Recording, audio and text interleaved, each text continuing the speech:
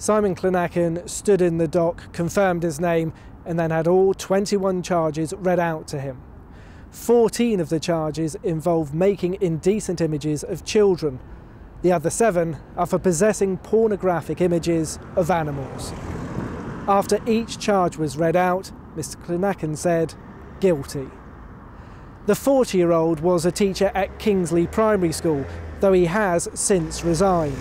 None of the images involve children at the school. The head teacher has given us a statement. He says, We are pleased this matter has been concluded and that Mr Clonachan has pleaded guilty.